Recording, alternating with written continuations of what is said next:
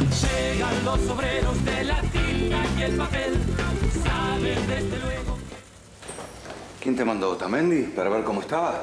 Decirle que estoy muy mal, que me estoy pudriendo acá adentro. Te dije que vine a ayudarte. Y yo no te creo. Perdón, Antonio, no tengo más tiempo. Voy a ver gente, a ver si consigo información.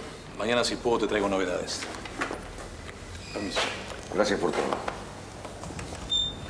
Andate, Verónica.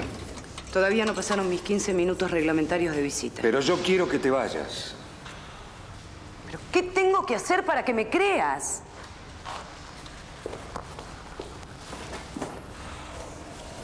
Antonio, yo sé cosas.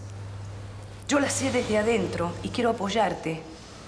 Intenté hablar con vos cuando me enteré de lo que te iban a hacer y no quisiste escucharme. Está bien, es lógico que desconfíes de mí después de lo que pasó con Otamendi.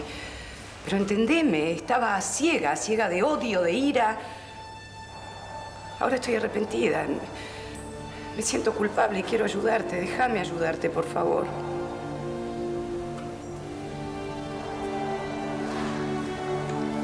Hay algo que puedes hacer por mí. Decime, decime, yo lo hago. Toma la gerencia de TVZ. ¿Cómo? ¿Para qué?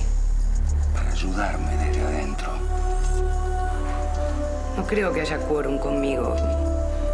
El horno no está para bollos. Tomaron el canal. Victoria me odia. Vos sos fuerte. Cuando te propones algo, lo lográs. Vos podés. Vos podés. No te prometo nada. Pero te juro que voy a hacer todo lo que esté a mi alcance. Vamos a dejar pegado a Andreani. Sí, sí, eso ya lo entendí. Ahora, lo que no me queda claro es cómo lo vamos a dejar pegar. Pero vos sos boludo. La única prueba que diste fue los cheques de Andreani. O sea, cuando esto toma estado público, cuando sale la publicidad y se arme el escándalo, ese justamente es el tiempo que yo necesito para disponer del dinero. Pero si la plata ya está. Es un requisito del banco donde está la guita, en Suiza. Tranquilo, tranquilo. Dos o tres días y esto está solucionado. Por lo que me dijeron, hay varios que le quieren sacar la careta a Otamendi, entre ellos gente de su partido. ¿Ah, sí? ¿Y cómo lo van a hacer? Quieren juntar información para mandarlo a un juicio político. ¿Y la tienen? No, por eso quisieron hablar conmigo, para que yo le pase datos. Justo ahora. ¿Y cómo se los conseguimos? A este tipo no, no lo podemos contar. No. Señores, les pido por favor un minuto de atención a todos. Bueno, lamentablemente no tengo ninguna novedad. Estoy bastante preocupado, tanto como ustedes, porque no tengo respuestas. El directorio se niega a darme explicaciones. Pero quiero que sepan todos que yo, Américo Baigorria, en fin, estoy dispuesto a remangarme para pelear por el diario que construí. Es lo menos que puedo hacer. Les pido, por, por supuesto, a todos que tengan, qué sé yo, mucha calma. Yo sé que es difícil, pero tengamos calma. Me acaban de informar que la gente de TVZ ha tomado pacíficamente el canal y yo propongo que hagamos nosotros lo propio, es decir, que empecemos una huelga con una tirada del diario de, de emergencia. Gracias.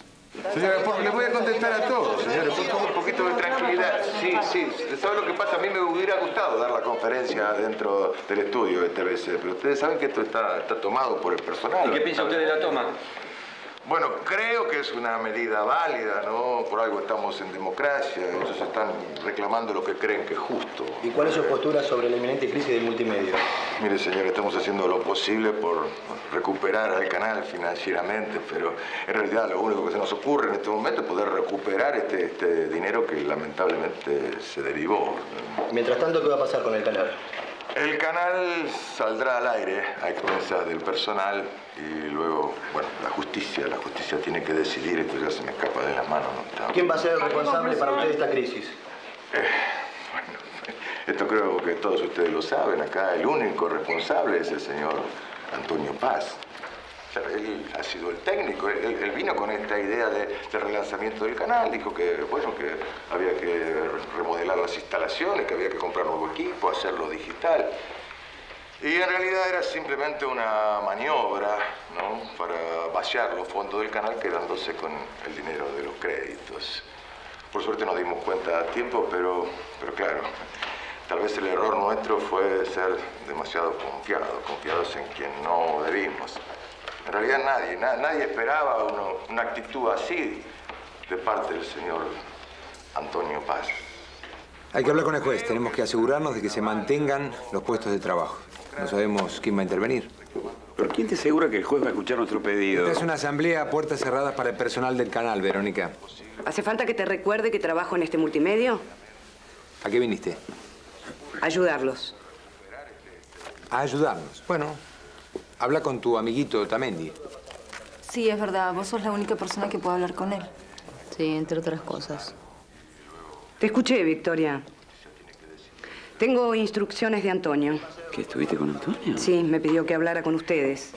Defender a Antonio es defender los intereses de TVZ y de todos nosotros. Pero por favor, Otamendi dijo que responsable de todo es Antonio. Pero no seamos hipócritas, Manuel. Nadie le cree a Otamendi. Antonio cayó en una trampa. Ahora confía en mí y espero que ustedes también puedan hacerlo. Eso lo vamos a decidir entre todos. ¿Pero qué es lo que tienen que decidir? Si te vas o te quedas, Verónica.